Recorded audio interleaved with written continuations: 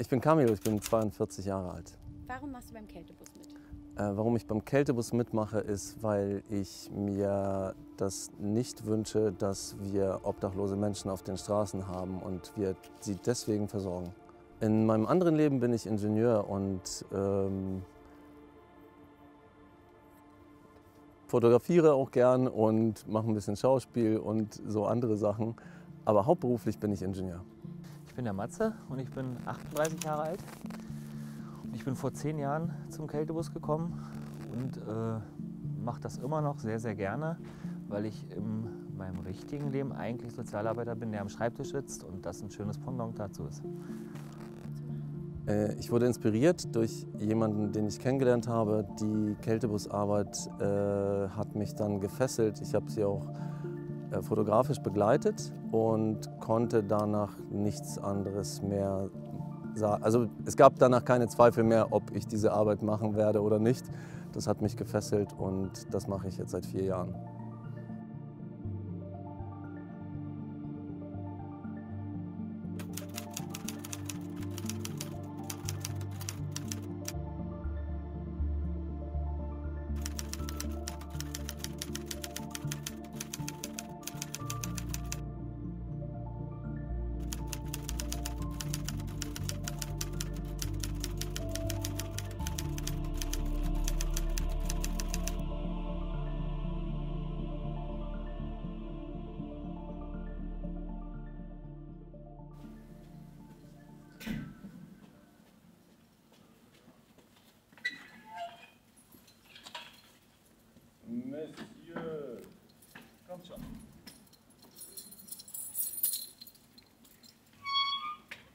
Wir nehmen üblicherweise Sachen mit, die wir auch am Abend verteilen können, beziehungsweise wie man sieht, Isomatten und Schlafsäcke sind äh, super, super wichtig und natürlich auch ein bisschen was äh, Warmes, damit wir unseren Gästen was anbieten können. Also Tee und Kaffee äh, haben wir an Bord, aber das ist ähm, eigentlich unsere, unsere Hauptausrüstung.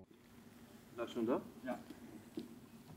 Ab 1,5 Grad ungefähr gibt es eine Schwelle, wo wir vermehrt oder wo, wo sich die Zahl der anrufenden Menschen ändert. Weil, und jetzt kann Matze den goldenen Satz sagen, den ich von ihm gelernt habe und seitdem auch wiederhole. Wenn es anfängt, an der eigenen Nase zu kneifen, werden die Leute aufmerksam, dass das Leben auf der Straße hart ist. Schon zur Zeit aus, das heißt, äh, wir haben gewöhnlicherweise, starten wir mit einem leeren Bildschirm was ihr seht, sich jetzt schlagartig geändert hat. Und das bedeutet, das wird eine arbeitsreiche Nacht. Also wenn, so wie Matze gesagt hat, wenn die Menschen merken, dass es kalt ist, machen sie sich auch Sorgen um andere und dann gehen vermehrt Anrufe ein.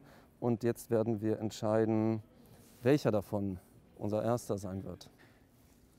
Weserstraße, Alexanderplatz, Tunnelstraße mit Rollstuhl und Karl-Marx-Allee vor unserer Haustür praktisch, am, am Kino Kosmos. Na, dann fahren wir über Alexanderplatz und zum Kino Kosmos. Gut, finde ich gut. Okay. Wer bei uns anruft, sind äh, die meisten sind, würde ich behaupten, Passantinnen und Passanten. Äh, es sind aber auch Kliniken, Krankenhäuser, Polizeidienststellen äh, und alle anderen Menschen, die in irgendeiner Form obdachlose Menschen uns berichten. Das ist ähm, vor zwei, drei Tagen. Ja. Am letzten Wochenende oder nee, davor schon äh, hatte, hatten wir doch Evakuierung wegen der Demo, Ja. musste hier alles sauber sein. Okay. Und dann hatte ich meinen Wagen, diesen äh, Kinderwagen da mit den Sachen, hatte Ja. ich da drüben am Venusbecken. ne? Dankeschön. Guck mal, die Pappe nehmen wir wieder mit. Sollen wir das gleich mal auspacken oder was? Oder willst du das selber in Ruhe auspacken? Leute, das ist ein riesen Ding. Nein, das ist ein Zweimannsfeld. Du brauchst doch Platz. Schlummerland. Schlummerland. Jeder, jeder Berliner denkt an Lummer. Ja nun. Ja nun. Sag mir, was steht da drauf? Wie viele Leute gucken da rein? Äh, 14. Glaube ich. Ist okay, ein Zirkuszelt. Warte. 1,90 mal 110. Robust grün. 1,90 mal 110. Das ist nicht größer wie Das dein blaues Feld, was du hier hast. Das ist nicht groß. Also ich würde ich würd jetzt mal so schätzen. Wollen wir das mal zusammen aufbauen? Weil ich habe, also, da musst du mir aber helfen, weil ich habe keine Ahnung. Ich habe noch nie ein Zelt aufgebaut. Ich heiße Elisabeth, ich lasse es beim Vornamen und ich bin 60 Jahre alt. Man muss ja von irgendwas überleben. Man muss ja von irgendwas äh, sein Essen kaufen. Man braucht seine Klamotten, auch wenn man immer die Secondhand, Humana und sowas äh, Klamotten nimmt. Und man braucht eben halt ab und zu dies und das. Also man kann einen Schlafsack kaufen, so das schafft man. So, aber man schafft eben halt irgendwie nicht, wenn alles ins Wasser geschmissen wird oder oder oder es wird dann ganz plötzlich kalt oder so. Dann schafft man es einfach nicht mehr. Ne? Dann hat man eben halt nicht mehr diese, diese äh, die Reserve. Also ich mache nebenbei noch oder ne, eigentlich hauptsächlich noch immer mehr Schreibarbeit und mache dann zwischendrin so ein bisschen Flöte spielen und habe mich damit so ganz gut über Wasser gehalten und will jetzt gerade wieder so in die feste Wohnsituation zurück langsam, aber sicher. Ich habe es sehr lange auf der Straße ausgehalten, also und jetzt wird es gerade wieder kalt.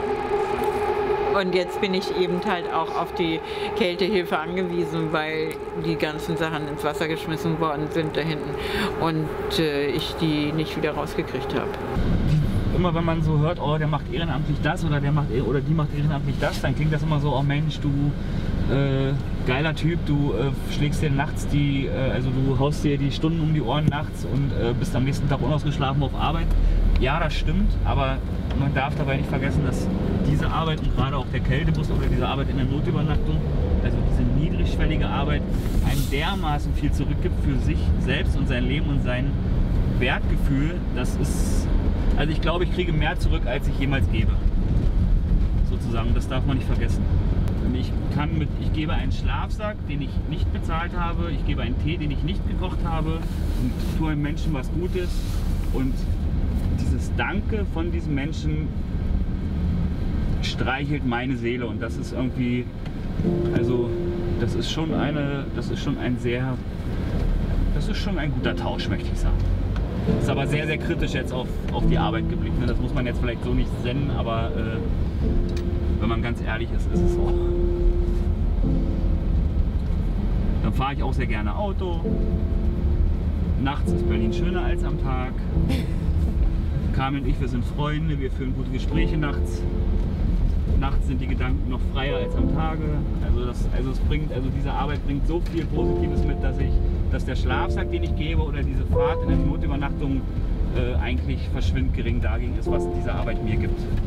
Bevor ich sie die normale Welt kennengelernt habe, habe ich vorher schon die Welt von unten kennengelernt sozusagen. Ich kannte das schon, selber mit Drogenabhängigkeit und äh, am Kotti stehen und äh, Straßenfeger verkaufen und so. Deswegen habe ich auch die Empathie, diese Menschen zu verstehen und zu fühlen, sozusagen. Ähm, deswegen äh, kann ich diesen Blick auch niemals ablegen.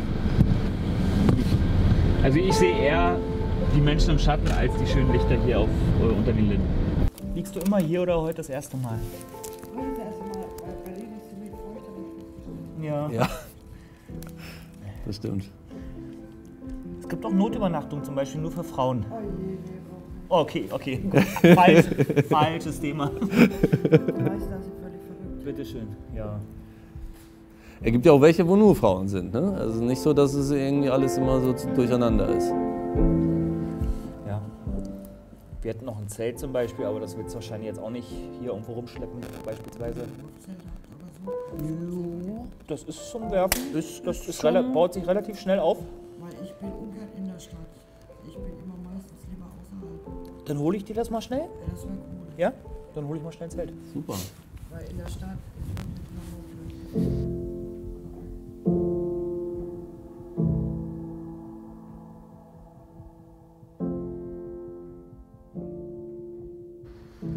Gerne. Gerne.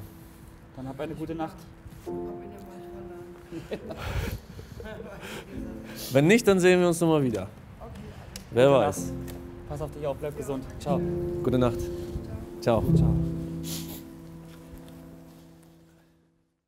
Also es gibt, es gibt Menschen, die äh, versuchen irgendwie Kontakt herzustellen zu obdachlosen Menschen hier und da. Und es gelingt, nicht, es, es gelingt nicht, es gelingt nicht, wir werden abgelehnt und nochmal abgelehnt und noch mehr. Und dann kommt irgendjemand vorbei und mit irgendeinem anderen Impuls Weil das der Tag ist, weil es die Nacht ist, weil es die Stimmung ist, weil was auch immer herrscht. Und weil jemand vielleicht mal nicht locker lässt. Also wie oft war das so, dass ich mir die Zähne ausgebissen habe bei irgendjemandem und dann kommt Matze um die Ecke, einfach straight, sagt zwei Sätze und es ist geschehen. Und ich stehe da und sehe aus wie ein Friseur. Nicht, dass du denkst, ich will dir nicht die Hand geben. Ich gebe dir gerne die Hand, aber wir müssen wegen Corona ein bisschen vorsichtig sein. Ich bin Marc, bin 37, bin seit vorher Jahr erschienen und lebe seitdem auf der Straße. Ich war äh, vor ein paar Jahren schon Ich aber zehn Jahre auf der Straße. Wie im Sommer, wie im Winter.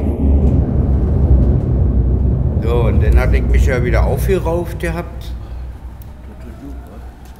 Und ähm, nachdem ich dann mein, war ich in der Langzeittherapie wegen Alkohol. Und äh, da habe ich aber dann meine Frau kennengelernt dann sind zusammengezogen und vier Jahre verheiratet. Ja, und dann war Feierabend und dann ist sie abgehauen, ich bin abgehauen und dann war ich im Knast und dann, ja, jetzt bin ich hier. Hier passen wir auf uns gegenseitig auf.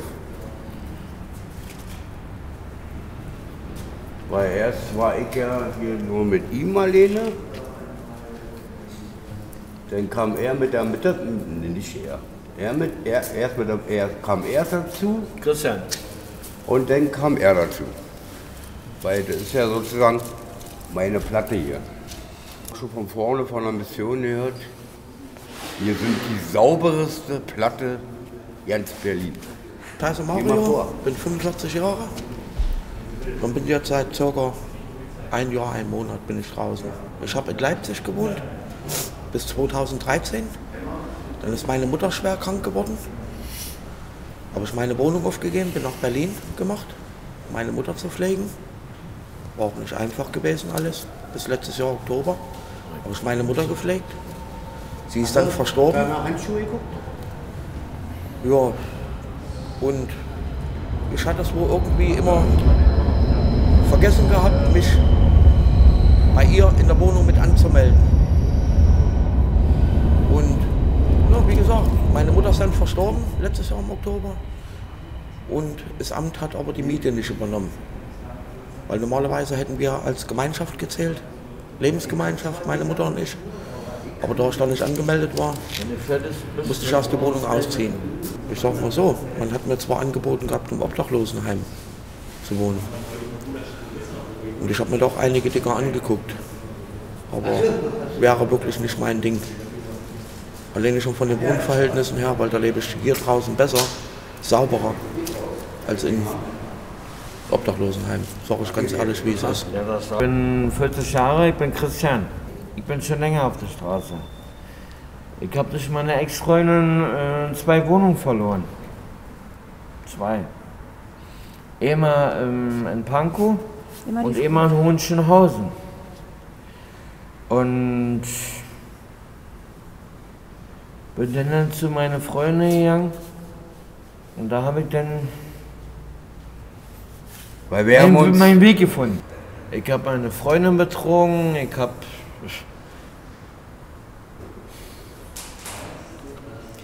Scheiße gebaut, Leute auf die Fresse gehauen, Diebstähle gemacht, alles. Das bereue ich ja. Und ich habe dafür eingebüßt. Ich habe dafür in, in Haft gelegen, alles. Ich bereue es aber. Und worauf bist du stolz in deinem Leben? Auf meine Kinder. Gibt es etwas, was du dir noch wünschen würdest in diesem Jahr? Boah, in diesem Jahr. Ja, zumindest, dass erstmal die Corona-Krise vorbeigeht. Weil das ist sehr, sehr nervig. Weil man merkt, die Leute werden aggressiv. Ja, das war schon beim ersten Lockdown, wo das gewesen war. Land. Die sind dann alle auseinandergegangen und so, man, wenn man irgendwas gefragt hat. Äh, die haben auch keine Antworten nicht gegeben. Aber jetzt ist es total schlimm. Wenn man mit der S-Bahn fährt oder so. Eine Wohnung. Wer will es nicht, ne? Ich würde mir jetzt wünschen, dass die Kommunikationsblockaden aufgehoben werden und dass ich dann eben halt auch leichter eine Wohnung finde. Dass ich meine Kinder bei mir habe.